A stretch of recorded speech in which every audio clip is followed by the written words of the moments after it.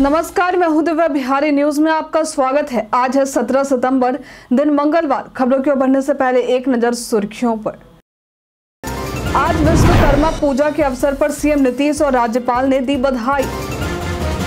शिक्षा विभाग ने सरकारी स्कूलों के बुनियादी जरूरतों के मरम्मत के लिए जारी किए रुपए।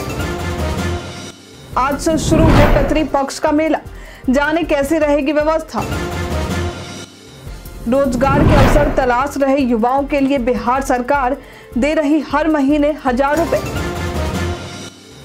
ऐसे छिपा सकते हैं आप अपने व्हाट्सएप चैट।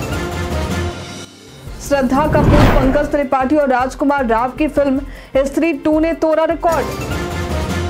आकाश चोपड़ा ने धोनी के साथ का सुनाया ये मज़ेदार कस्सा। अब चले बढ़ते हैं। अब तक की 25 बड़ी खबरों की ओर विस्तार से।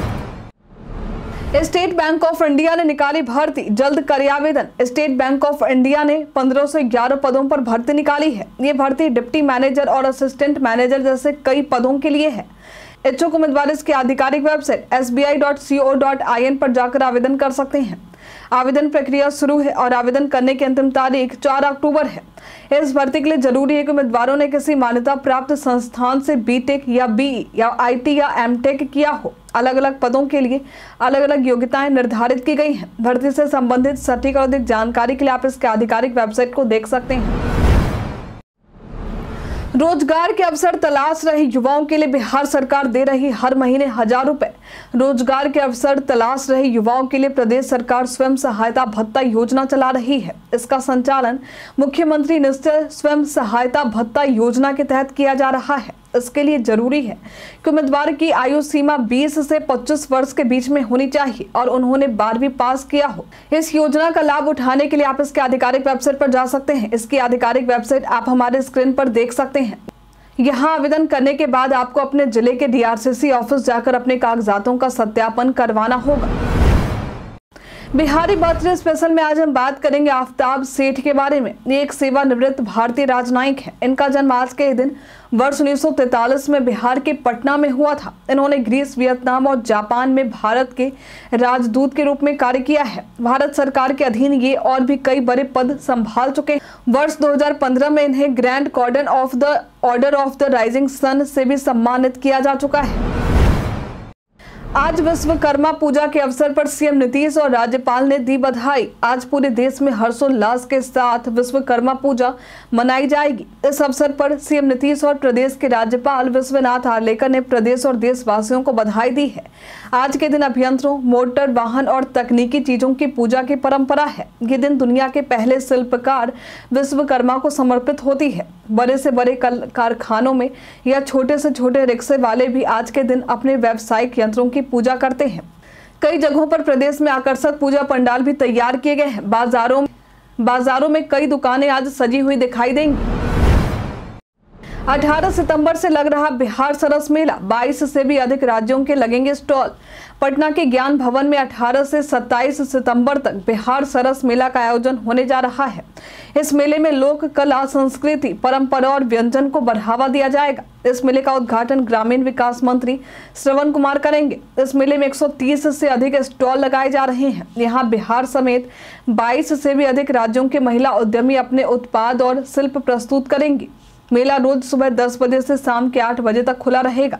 बिहार सरस मेला का आयोजन 2018 से साल में दो बार किया जाता है। पिछले साल के पहले संस्करण में दो करोड़ बिरानवे लाख रुपए की बिक्री हुई थी, जिसमें विविध उत्पाद और व्यंजन प्रदर्शित किए गए थे।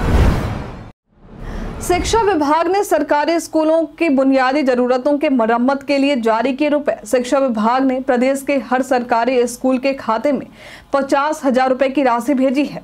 इन पैसों से प्रदेश के सरकारी स्कूलों में कई चीज़ों की मरम्मत की जाएगी, जिसमें स्कूलों में पंखे, बल्ब, बेंच, डेस्क, फर्श और शौचालय आदि के मरम्मत शामिल है। सभी स्कूलों में इस काम की निगरानी संबंधित ज़िले के डीएम करेंगे। स्कूलों में ये पैसे ट्रांसफ़र करने के बाद शिक्षा विभाग ने कहा है कि ये राशि मरम्मत, जल जमाव और बुनियादी जरूरतों से जुड़े कार्यों के लिए हमेशा उपलब्ध रहेगी, जिससे समय समय पर स्कूल प्रशासन अपने स्तर पर छोटे मोटे काम करवा सकेंगे। आने वाले एक साल में बिहार के इन जिलों में बढ़ेंगे रोज़गार के अवसर। बिहार में बीते कुछ समय से कई ग्रुप्स ने इन्वेस्टमेंट किया है, जिसमें ब्रिटानिया पेप्सिको टाटा ग्रुप की ताज होटल से लेकर हेल्थ केयर में मैदानता तक शामिल है। बिहार को 2022-24 के बीच बारह हज़ार करोड़ रुपए के इन्वेस्टमेंट प्रपोजल मिल चुके हैं। इसकी जानकारी सरकारी आंकड़ों से मिली है। आने वाले कुछ सालों में पटना के साथ साथ मुजफ्फरपुर, वैशाली और पश्चिमी पूर्वी चंपारण में नौकरी के मौके बढ़ने की संभावना है। इन जिलों में कई कंपनियाँ अपनी फैक्ट्री लगाने जा रही हैं और आने वाले एक साल में प्राइवेट सेक्टर में लाखों रोज़गार के अवसर बढ़ रहे हैं। इसके अलावा आईटी सेक्टर में भी अगले वर्ष तक 2000 करोड़ रुपए तक का निवेश करने की तैयारी है। विभागीय निर्देश के बाद अफसरों ने आईटी सेक्टर से जुड़ी कंपनियों को आमंत्रित करने का प्रस्ताव तैयार किया है। आज से शुरू है पितृपक्ष का मेला। जाने कैसी रहेगी व्यवस्था? आज से पितृपक्ष शुरू है। हालाँकि पहला श्राद्ध 18 सितंबर से शुरू है। इस अवसर पर आज से लेकर 2 अक्टूबर तक गया में पितृपक्ष मेले को लेकर कई तैयारियाँ और लोगों की सुरक्षा के खास इंतज़ाम किए गए हैं। गया में सरोवरों और देवघाट में एस एसडीआरएफ गोताखोर लाइफ जैकेट और नाव आदि की पूरी उपलब्धता रहेगी। तीर्थ यात्रियों के लिए टेंट सिटी का निर्माण किया गया है, जहाँ 2500 बेड की व्यवस्था है। यहाँ यात्रियों के निःशुल्क ठहरने की व्यवस्था की गई है। इसके अलावा शमशान घाट से लेकर गया जी डैम तक एक समय में एक साथ 40 से पचास हज़ार लोगों के एक साथ तर्पण, बैठकर तर्पण करने की व्यवस्था भी की गई है। साथ ही तीर्थ यात्रियों के लिए Bihar State Tourism Development Corporation Limited ने कई तरह के टूर पैकेज लॉन्च किए हैं, जिसकी जानकारी आप इसके आधिकारिक वेबसाइट पर जाकर देख सकते हैं। यदि आप घर बैठे ही पिंडदान करना चाहते हैं तो पर्यटन विकास निगम ने ई पिंडदान पैकेज की भी व्यवस्था की है। इसके अलावा पिंडदान और अन्य पर्व त्योहारों में भीड़ भाड़ को देखकर गया और पटना के बीच एक जोड़ी मेमू पैसेंजर स्पेशल ट्रेन शून्य तीन छः पाँच छः शून्य तीन छः पाँच पाँच का परिचालन कराने का भी फैसला लिया गया है। ये स्पेशल ट्रेन गया और पटना के बीच 16 सितंबर से 31 दिसंबर तक चलाई जा रही है। पटना में शिक्षकों की नौकरी पर मंडरा रहा खतरा। शिक्षा विभाग कर सकता है कार्रवाई। जो लोग बीपीएससी के माध्यम से शिक्षक बन गए हैं, लेकिन सीटेट में 60 प्रतिशत से भी कम अंक प्राप्त हुए हैं। उनकी नौकरी पर खतरा मंडरा सकता है। आप आपको बता दें कि इस परीक्षा में जिन्होंने कम से कम 60 प्रतिशत अंक प्राप्त किए थे, केवल उन्हीं के आवेदन करने का प्रावधान था। लेकिन कई लोग जिन्हें 60 फ़ीसदी से भी कम अंक आए थे, वे भी परीक्षा पास करके शिक्षक बन गए हैं। जिसके बाद शिक्षा विभाग अब ऐसे शिक्षकों की जाँच कर रहा है। सीटेट में 60 प्रतिशत से कम अंक लाने वालों के प्रमाण पत्र की जाँच डीपीओ स्थापना कार्यालय में की जा रही है। इस दौरान शिक्षकों के सीटेट अंक पत्र और प्रमाण पत्र के साथ जाति आवासीय आधार कार्ड और स्वाभिप्रमाणित प्रमाण पत्र की प्रति भी ली जा रही है। ऐसे छिपा सकते हैं आप अपने व्हाट्सएप चैट। व्हाट्सएप ने अपने चैट्स को हाइड करने के लिए एक नई ट्रिक पेश की है। इस ट्रिक से आप अपना आर्काइव किए बिना ही चैट को छिपा सकते हैं। चैट्स को हाइड करने के लिए अपने एंड्रॉयड फ़ोन पर व्हाट्सएप खोलें और जिस चैट को हाइड करना चाहते हैं, उस चैट को सेलेक्ट करें। फिर ऊपर दाएँ कोने में तीन डॉट्स पर टैप करें और लॉक चैट विकल्प चुनें। पॉपअप पर keep this chat locked and hidden पर टैप करें और कंटिन्यू पर क्लिक करें। लॉक की गई चैट्स केवल आपके बायोमेट्रिक्स से ही ओपन होगी और नोटिफिकेशन में व्हाट्सएप वन न्यू मैसेज दिखाई देगा। व्हाट्सएप को अनलॉक करने के लिए लॉक्ड चैट फोल्डर में जाएँ और तीन डॉट्स पर टैप करके अनलॉक ऑप्शन चुनें। नवोदय विद्यालय में प्रवेश परीक्षा के लिए आवेदन की अंतिम तिथि में हुआ विस्तार। जवाहर नवोदय विद्यालय में सत्र 2025-26 में क्लास छठी में प्रवेश के लिए आवेदन की अंतिम तिथि को बढ़ाकर 23 सितंबर कर दिया गया है। आवेदन करने वाले अभ्यर्थियों को ज़रूरी है कि वे पांचवी क्लास में नियमित पढ़ाई कर रहे हों। आपको बता दें कि इस परीक्षा का आयोजन अगले वर्ष 18 जनवरी को किया जाएगा। नवोदय विद्यालय में नामांकन के लिए इच्छुक उम्मीदवार आवेदन कर सकते हैं। बेटी बचाओ, बेटी पढ़ाओ से प्रदेश की करीब तीन लाख बेटियाँ हुई शिक्षित। प्रदेश के दो दशमलव अंठानवे लाख बेटियाँ बेटी बचाओ, बेटी पढ़ाओ योजना से शिक्षित हुई हैं। इनमें से कई बच्चियों ने बीच में ही अपनी पढ़ाई छोड़ दी थी। लेकिन इस योजना की मदद से इन्हें सुरक्षा दिया गया ताकि वे अपनी आगे की पढ़ाई पूरी कर सके। ये आंकड़े दो वर्षों के हैं जिसे महिला एवं बाल विकास मंत्रालय द्वारा जारी किया गया है। इसमें सबसे ज़्यादा संख्या वैशाली के बेटियों की है। इस ज़िले से करीब चौंतीस हज़ार पाँच सौ तैतालीस बेटियाँ इस योजना के ज़रिए शिक्षा से जुड़ी और शिक्षित हुई हैं।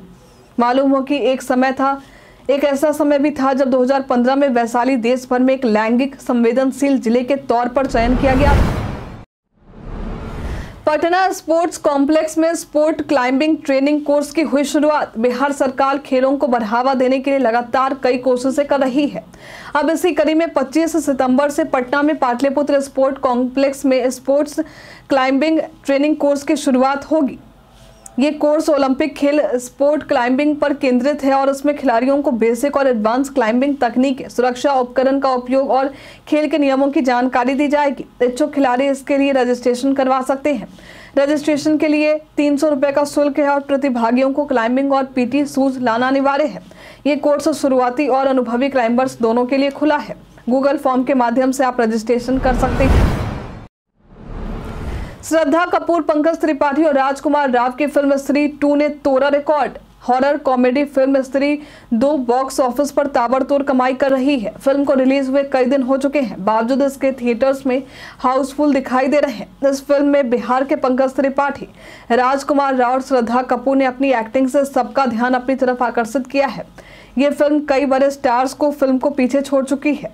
इस फ़िल्म ने उरी के रिकॉर्ड को भी तोड़ दिया है। उरी फ़िल्म ने अपने पाँचवें वीकेंड में बारह दशमलव तीन सात करोड़ रुपए की कमाई की थी। वहीं इस फ़िल्म ने सोलह करोड़ रुपए की कमाई की है। फ़िल्म का कुल कलेक्शन अब पाँच सौ अस्सी दशमलव एक आठ करोड़ रुपए हो चुका है। अगर आपने स्त्री फ़िल्म देखी है तो आपको पंकज त्रिपाठी की एक्टिंग कैसी लगी? हमें कमेंट में लिखकर ज़रूर बताएँ।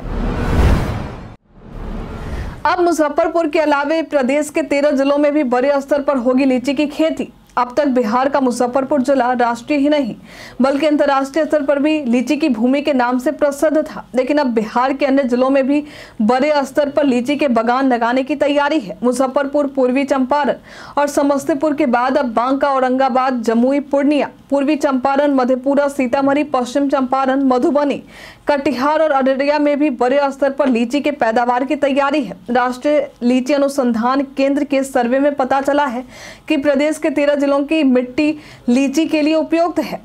बिहार में करीब 50 लाख पाँच हज़ार चार सौ इकतालीस हेक्टेयर भूमि पर लीची की खेती की जा सकती है। व्यावसायिक पाठ्यक्रम में नामांकन लेने वाले कॉलेजों के शैक्षणिक आधारभूत संरचना की होगी जाँच। प्रदेश में जो मान्यता प्राप्त महाविद्यालय या अंगीभूत कॉलेज व्यावसायिक पाठ्यक्रम चला रहे हैं उनके शैक्षणिक आधारभूत संरचना की जाँच की जाएगी। इसके लिए इन कॉलेजों के कुलपतियों को राजभवन सचिवालय ने निर्देश जारी किया है क्योंकि व्यावसायिक पाठ्यक्रम जैसे बीबीए, बीसीए और बीएमएस जैसे कई विषयों में नामांकन के लिए शैक्षिक सत्र 2024-25 में सशर्त अनुमति दी गई है। व्यावसायिक पाठ्यक्रम में नामांकन लेने वाले सभी कॉलेजों को अखिल भारतीय तकनीकी शिक्षा परिषद यानी ए से मान्यता प्राप्त निर्धारित शर्तों का पालन करना ज़रूरी है। जो कॉलेज इन मानकों का को पूरा नहीं करेंगे, उन्हें आगामी वर्ष से अपने कॉलेज में व्यावसायिक पाठ्यक्रम में बच्चों के नामांकन की अनुमति नहीं दी जाएगी। प्रदेश के इन जिलों में आज भारी वर्षा की है संभावना। बीते कुछ दिनों से प्रदेश में कई जगहों पर वर्षा से मौसम सुहावना हो चुका है। आज भी प्रदेश में कई जगहों पर बारिश की संभावना जताई गई है। आज के बाद मानसून कमज़ोर पड़ने की उम्मीद है। प्रदेश में आज रोहतास और कैमूर ज़िले में एक या दो स्थानों पर भारी वर्षा को लेकर येलो अलर्ट जारी किया गया है। आज का अधिकतम तापमान कुछ जगहों पर तीस से बत्तीस डिग्री तो कुछ जगहों पर बत्तीस से चौतीस डिग्री रहने की संभावना है। नीट पेपर लीक मामले में दो साथिरों की हुई गिरफ्तारी। नीट पेपर लीक मामले में दो और साथिरों को पटना से गिरफ़्तार किया गया है। इनके पास से तीन मोबाइल फ़ोन भी जब्त हुए हैं। मिली जानकारी के मुताबिक जिन लोगों को की गिरफ्तारी हुई है, इन्होंने मुख्य आरोपी से करीब डेढ़ घंटे तक इस मोबाइल फ़ोन से बातचीत की थी, जिससे अब मोबाइल के सीडीआर खंगाली जा रही है। इस गिरफ्तारी के बाद प्रभारी थाना अध्यक्ष दानापुर ने बताया है, मुख्य सरगना को संरक्षण देने और भगाने का आरोप है। राजधानी पटना के दानापुर सुल्तानपुर से नौकरी के नाम पर मोटी रकम वसूलने के आरोप में झारखंड नामकुम पुलिस ने गिरफ़्तार किया है। सीतामढ़ी के पुनौरा धाम मंदिर के आसपास पर्यटक स्थल विकसित करने की प्रक्रिया हुई शुरू। सीतामढ़ी के पुनौरा धाम मंदिर के आसपास एक बेहतर पर्यटक स्थल विकसित करने के लिए 50 एकड़ भूमि अधिग्रहण की प्रक्रिया शुरू हो गई है। राज्य मंत्री परिषद की स्वीकृति के बाद पर्यटन विभाग और जिला प्रशासन ने भूमि अधिग्रहण की दिशा में काम करना शुरू कर दिया है। पर्यटन सचिव लोकेश कुमार सिंह ने स्थल निरीक्षण कर भूमि चिन्हित की और आवश्यक कार्रवाई के निर्देश दिए हैं। पुनौरा धाम की पर्यटन सुविधाओं के विकास के लिए बहत्तर दशमलव सैतालीस करोड़ रुपए की योजना स्वीकृत की गई है, जिसमें परिक्रमा पथ, सीता वाटिका, लवकुश वाटिका और अन्य सुविधाओं का निर्माण शामिल है। इस परियोजना से पर्यटकों की संख्या बढ़ेगी और स्थानीय रोज़गार के अवसर सृजित होंगे। प्रदेश के सरकारी स्कूलों में 25 सितंबर को होने वाली अर्धवार्षिक परीक्षा हुई रद्द। बिहार के सरकारी स्कूलों में पढ़ने वाले बच्चों के लिए एक ज़रूरी खबर सामने आई है। दरअसल प्रदेश के सभी सरकारी स्कूलों में 25 सितंबर को ज्योतिया पर्व के दिन अर्धवार्षिक परीक्षा होने वाली थी, लेकिन अब शिक्षा विभाग ने पत्र जारी करके इस दिन होने वाली परीक्षा को रद्द कर दिया है। अब ये परीक्षा छब्बीस सितंबर को आयोजित होगी। आपको बता दें कि पच्चीस सितंबर को होने वाली परीक्षा को लेकर शिक्षक संगठनों ने भी विरोध किया था। पीएम मोदी को सीएम नीतीश समेत कई दिग्गज नेताओं ने जन्मदिन की दी बधाई। आज पीएम मोदी का जन्मदिन है। भारतीय जनता पार्टी समेत एनडीए के कई नेताओं ने प्रधानमंत्री के जन्मदिन के अवसर पर उन्हें बधाई दी है। इस अवसर पर सीएम नीतीश ने और राज्यपाल ने भी प्रधानमंत्री को जन्मदिन की शुभकामना और बधाई दी है। उन्होंने प्रधानमंत्री के स्वास्थ्य और दीर्घायु होने की कामना भी की है। सीएम नीतीश के अलावा गृह मंत्री अमित शाह, जेपी नड्डा समेत कई दिग्गज नेताओं ने भी उन्हें बधाई दी। प्रधानमंत्री को उनके जन्मदिन पर आप क्या बधाई संदेश देना चाहते हैं, हमें कमेंट में लिखकर ज़रूर बताएँ। 19 सितंबर से राजद के सदस्यता अभियान की होगी शुरुआत। 19 सितंबर से राजद अपनी सदस्यता अभियान शुरू करने वाली है। पहले इस अभियान के आरंभ होने की तारीख 18 सितंबर थी, हालाँकि अब इसकी तारीख को एक दिन आगे कर दिया गया है। इस अभियान की शुरुआत लालू प्रसाद यादव करने वाले हैं। इस संबंध में राजद प्रवक्ता एजाज अहमद ने जानकारी देते हुए बताया है कि राजद के सदस्यता अभियान की शुरुआत 19 सितंबर को राजद के राष्ट्रीय अध्यक्ष लालू प्रसाद करेंगे। नई दिल्ली स्थित डॉक्टर मिसा भारती के आवास सैदिस पंडरा पार्क से पार्टी सुप्रीमो सदस्यता अभियान की शुरुआत करेंगे। इस अवसर पर नई दिल्ली में सदस्यता अभियान के समय लोकसभा लोकसभा सदस्य, राज्यसभा सदस्य, पूर्व सांसद, राष्ट्रीय पदाधिकारी और दिल्ली इकाई के पदाधिकारी, राष्ट्रीय अध्यक्ष के समक्ष सदस्यता लेंगे। आकाश चोपड़ा ने धोनी के साथ का सुनाया ये मज़ेदार किस्सा। सलामी बल्लेबाजों में से एक आकाश चोपड़ा और धोनी ने मिलकर घरेलू क्रिकेट में जमकर खेला है। हाल ही में आकाश चोपड़ा ने अपने और धोनी के साथ बिताए पल को याद करते हुए एक किस्सा साझा किया। उन्होंने बताया कि धोनी उनके एक्स रूम पार्टनर रहे हैं और उनके लिए धोनी ने एक महीने तक चिकन त्याग दिया था, क्योंकि आकाश वेजिटेरियन थे। राज समानी ने के यूट्यूब चैनल पर उन्होंने बताया कि उनका फ़ोन हमेशा बजता रहता है, लेकिन धोनी कभी नहीं उठाते। वो रूम सर्विस में कॉल करने में शर्माते थे। पूरे एक महीने के लिए उन्होंने वेजिटेरियन खाया था। कई कारणों से दर्ज है भारत के इतिहास में आज की तारीख। आज के दिन वर्ष उन्नीस सौ अड़तालीस में हैदराबाद रियासत का भारत में विलय हुआ था। आज के दिन वर्ष उन्नीस सौ उनचास में दक्षिण भारतीय राजनीतिक दल द्रविड़ मुन्नेत्र करगम की स्थापना हुई थी। आज के दिन वर्ष उन्नीस में श्रीलंका के बीच पहला क्रिकेट टेस्ट मैच खेला गया था। आज के दिन वर्ष उन्नीस सौ छप्पन में भारतीय तेल एवं प्राकृतिक गैस आयोग का गठन हुआ था। आज के दिन वर्ष उन्नीस सौ सैंतीस में सीताकांत महापात्र का जन्म हुआ था। ये उड़ीसा भाषा के प्रसिद्ध साहित्यकार हैं। वंदे भारत स्लीपर ट्रेनों को लेकर किया जा रहा है ये फर्जी दावा। एक्स प्लेटफॉर्म पर एक ट्वीट में दावा किया जा रहा है कि वंदे भारत स्लीपर ट्रेनों के अनुबंध में 50 प्रतिशत की लागत वृद्धि की गई है। वहीं ट्रेनों की संख्या 200 से घटकर एक हो गई है। लेकिन आपको बता दें कि 50 प्रतिशत की कीमत वृद्धि का ये दावा फर्जी है। उच्च मांग को लेकर प्रति ट्रेनों की कोचों की संख्या 16 से बढ़ाकर 24 कर दी गई है। इस तरह की खबर पर विश्वास करने से बचे, पीआईबी फैक्ट चेक ने भी इस खबर को शेयर करते हुए फर्जी बताया है। हम प्रतिदिन आपसे पाँच ऐसे ज़रूरी सवाल पूछेंगे और उसका जवाब बताएँगे जो कि बीपीएससी बिहार पुलिस, दरोगा समेत एस एस अन्य प्रतियोगी परीक्षाओं में काम आएँगे। सवाल इतिहास, बिहार स्पेशल, विज्ञान, करंट अफेयर्स और भूगोल से रहेंगे। पूछे गए पाँच सवालों में आपने कितना सही उत्तर दिया है हमें कॉमेंट में लिखकर ज़रूर बताएँ। तो हमारा पहला सवाल है, हाल ही में कौन भारत की पहली एशियाई स्कूली छात्र चैंपियन बनी है? ऑप्शन है Deepa Pathak, option B Anjali Sharma, option C है दीपाली थापा, ऑप्शन डी अनु मलिक इसका संयुक्त है दीपाली थापा। हाल ही में राष्ट्रीय वन शहीद दिवस कब मनाया गया है। ऑप्शन है बारह सितंबर। ऑप्शन बी है नौ सितंबर। ऑप्शन सी है ग्यारह सितंबर। ऑप्शन डी है दस सितंबर। इसका संयुक्त है ग्यारह सितंबर। हाल ही में किस राज्य में पाँच नए पॉस्को को फास्ट ट्रैक कोर्ट स्थापित किए जाएँगे? ऑप्शन है हिमाचल प्रदेश। ऑप्शन बी है महाराष्ट्र। ऑप्शन सी है Paschim Bengal. Option D, Haryana. इसका संयुक्त है पश्चिम बंगाल। बिहार में खिलजी वंश के सिक्के कहाँ से मिले हैं? ऑप्शन है लोरिया चंपारण। ऑप्शन बी है सासाराम रोहतास। ऑप्शन सी है बेतिया चंपारण। ऑप्शन डी है शाहपुर भोजपुर। इसका उत्तर है शाहपुर भोजपुर। बिहार प्रादेशिक सम्मेलन का प्रथम अधिवेशन पटना में कब हुआ था? ऑप्शन है उन्नीस सौ ईस्वी। Option B 1908 option C 1916 option D 1918 इसका उत्तर 1908 बीते दिन हमारे द्वारा पूछे गए सवाल का आप लोगों में से बहुत सारे लोगों ने अपना जवाब हमें हमारे कमेंट सेक्शन बॉक्स में लेकर दिया था, जिन्होंने जिन्होंने हमारे द्वारा पूछे गए सवाल का जवाब जिनके नाम है। मोहम्मद रहम, मोहम्मद रहमतुल्ला, राजकिशोर महतो, विकास कुमार, मोहम्मद अरमान, जितेंद्र ठाकुर कुश कुमार यादव, सपना कुमारी, मोहम्मद साकिर हुसैन, राम सगुन दास, आलोक प्रियदर्शी, अनवर करीम खान, रवि मोहन वर्मा, सुरेश कुमार। इसके साथ ही भरते आज के सवाल की और आज का सवाल है। बिहार के पारंपरिक पकवान में आपका कौन सा फेवरेट है?